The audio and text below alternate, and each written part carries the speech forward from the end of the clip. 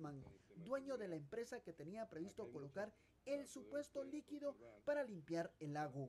El señor presidente, carta existe por el, trato, del tratado de agua.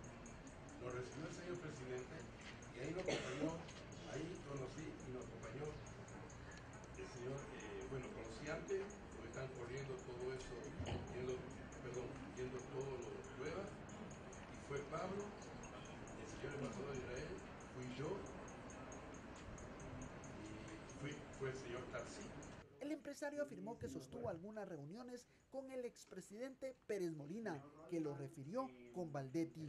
Durante la audiencia, las cámaras de Guatevisión pudieron captar por primera vez que Roxana Valdetti era ingresada a una carceleta del juzgado.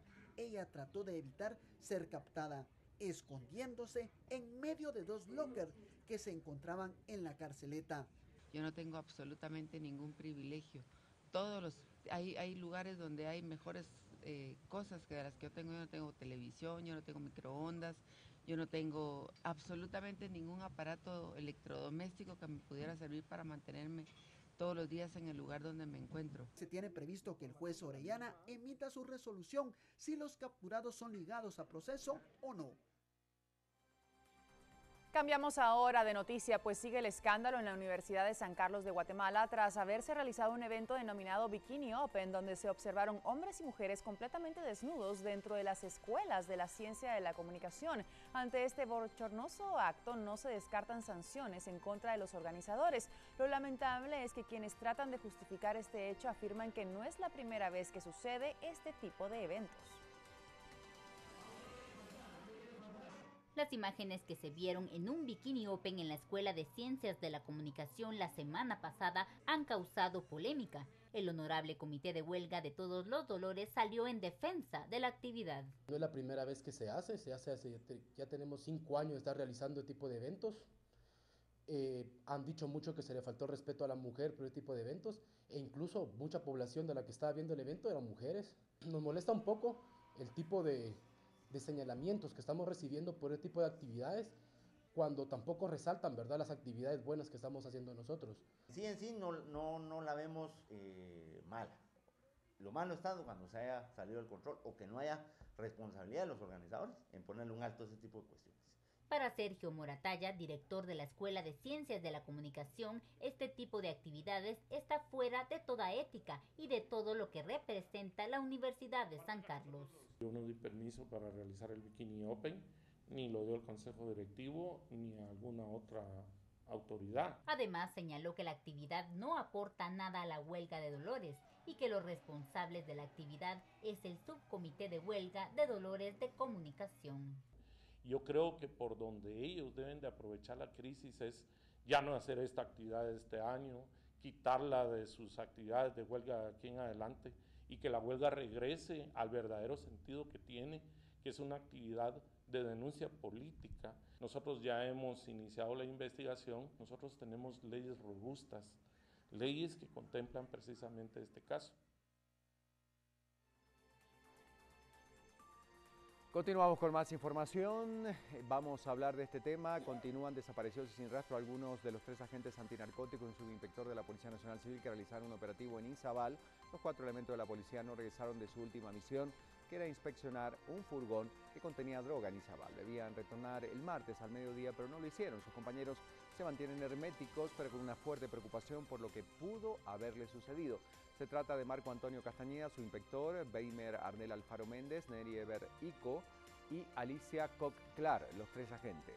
Han eh, pasado las 48 horas necesarias para que sean declarados desaparecidos. Sin embargo, la denuncia debe ser puesta por sus familiares esto no ha sucedido todavía y a lo interno de la policía ya iniciaron las investigaciones por parte de la inspección, la Oficina de Responsabilidad Profesional de la Policía Nacional Civil y debemos decir que bueno, esta situación continúa dentro de la subdirección. Algunos agentes han comentado, han manifestado que hay mucha preocupación por el paradero de estas cuatro personas. Todavía no se tiene el rastro de ninguno de ellos, pero insistimos, los familiares todavía no han presentado la denuncia de la desaparición de estas personas y se relaciona este caso posiblemente con algunas de las investigaciones que podrían haber realizado estas personas. En otros hechos, un horrendo crimen ocurrió en Misco cuando desconocidos descuartizaron el cuerpo de una persona y en apariencia utilizaron a un supuesto piloto de taxi para que fuera a dejar a un costado de la municipalidad de Misco los restos. La cabeza del fallecido tenía un mensaje que decía 18 visto, 18 muerto. Horas más tarde fueron localizados el resto de partes del cuerpo en un predio de autobuses. La bolsa con la cabeza fue dejada por Miguel Ángel Esteban Chan, un taxista de 50 años quien iba acompañado por dos supuestos mareros en la parte de atrás del automóvil. Chan fue capturado media hora después de haber cometido esta terrible tarea ya que gracias a una cámara de vigilancia se pudo captar todo lo sucedido. El detenido minutos después confesó haber enviado ciertos mensajes. El alcalde de Misco especificó que las rutas de ese municipio ya no están pagando extorsión y que dos agentes de la policía y militares vigilan las carreteras. Además, está planeando proponer un sistema prepago para darle fin a los ataques a los pilotos, que podría ser parte de la razón para intimidarlos. Escuchemos las declaraciones del alcalde de Misco, Ernesto Neto Brand.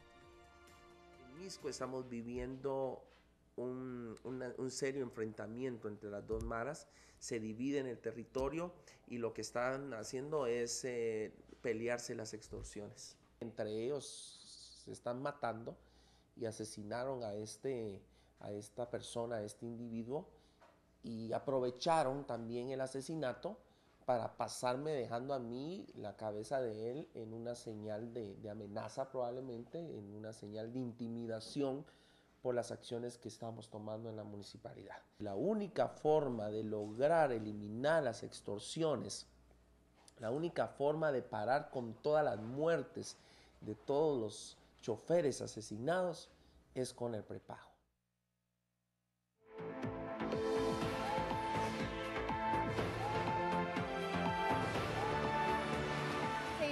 De la noticia, conociendo también lo que sucede en el interior de nuestro país, colocamos en pantalla esta sección departamental de prensa libre. Investigan violación de estudiante del hall.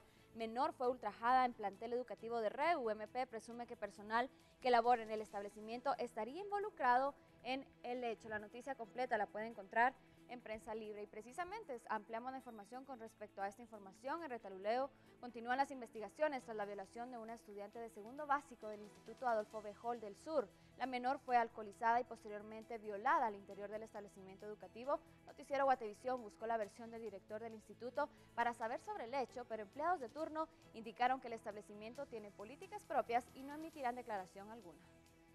La víctima de 14 años es originaria de San Marcos. Se encontraba internada en el centro educativo. Esa misma madrugada fue ingresada al Hospital Nacional de la Cabecera Departamental en estado de ebriedad y con señales de haber sido ultrajada. Relacionado a un hecho ilícito que posiblemente fue realizado dentro de las instalaciones del Instituto Adolfo Bejol. Para el efecto, una menor de edad que se encontraba en arresto en dicha en dicha entidad le, dieron de beber un tipo de bebidas que contiene alcohol y por esa razón posiblemente perdió el conocimiento.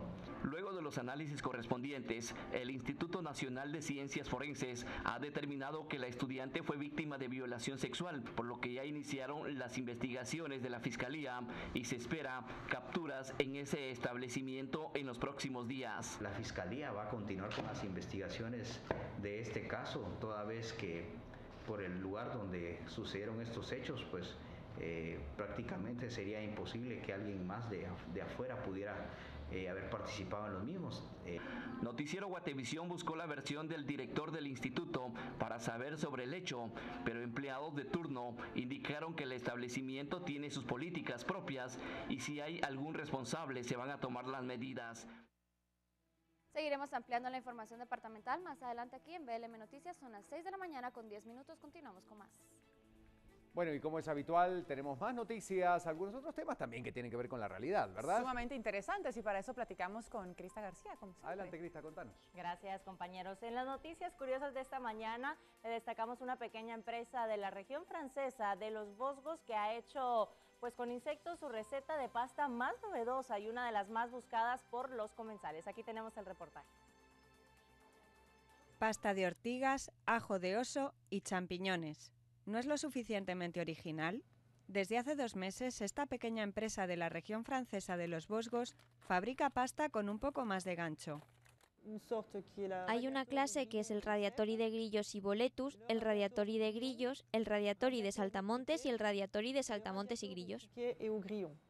La idea de la pasta de insectos se fraguó desde que una empresa de la región del Ródano empezó a vender harina de insectos. Es realmente de primera calidad. Están deliciosas. 15 kilos de harina de espelta, un kilo y medio de harina de grillos y 4 kilos de huevos. Se mezcla bien y listo. Radiatori de grillo. Ahí tiene. La pasta sale de la compactadora y ahora voy a meterla en las pequeñas tolvas. Las extiendo delicadamente por la harina de espelta. Es muy frágil.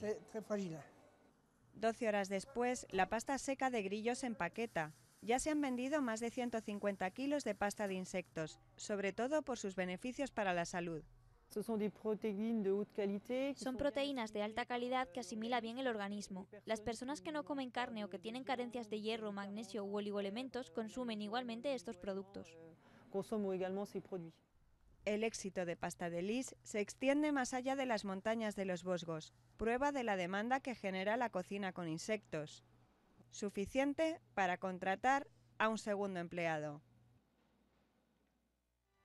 Y en otros temas, los granjeros sudafricanos se reunieron para rezar pidiendo lluvia, con la que buscan aliviar la peor sequía que les ha afectado durante más de un siglo y que está llegado a provocar incluso suicidios y rupturas matrimoniales. El ganadero de ovejas Marius Welgemoet y su esposa Francie llevan en pie desde antes del amanecer. Por la mañana se reunirán con cientos de personas para rezar pidiendo lluvia. Sudáfrica sufre su segundo año de sequía, pero Welgemoed ha tenido suerte, no ha perdido ninguna de sus ovejas y lo atribuye a su fe. Cada día, cuando te levantas y miras al cielo y no hay ni nubes ni lluvia, sabes que solo puedes depender de Dios. Como ganadero, creo que algunos de los chicos lo experimentan de primera mano. No hay mediador entre tú y Dios. Es solo Él y tú. Y si no proporciona agua y lluvia, no hay nada. Y eso ha tenido un enorme impacto en todos. Cinco de las nueve provincias sudafricanas han declarado desastres relacionados con la sequía provocada por el fenómeno meteorológico El Niño. Tradicionalmente un país de exportación de maíz, Sudáfrica podría necesitar ahora importar hasta 4 millones de toneladas de grano. Muchas de las personas que asisten a la oración representan la única fuente de ingresos para sus hogares. Me rompe el corazón. Quiero llorar cuando oigo que se suicidan hombres jóvenes porque ya no pueden soportar la presión. Matrimonios bajo presión a causa de esta sequía. Viene del fondo del infierno. El niño no procede del cielo. Viene del infierno y va a volver al infierno. ¿Podemos darle un aplauso al Señor, por favor? En las últimas semanas ha llovido esporádicamente en algunas partes del país, pero es demasiado poco y demasiado tarde para salvar las cosechas o evitar que los animales mueran de hambre. Y en esta comunidad rural y creyente donde cada vez se arruinan más granjeros resuena el mensaje religioso. La gente se pregunta, ¿dónde está Dios cuando hay sequía? Como si Dios mandase la lluvia hacia abajo como si abriera un grifo en el cielo, cuando nosotros sabemos que la lluvia la controlan las condiciones climáticas. Los científicos prevén que la sequía se prolongue unos meses seguidos del seco invierno en la región.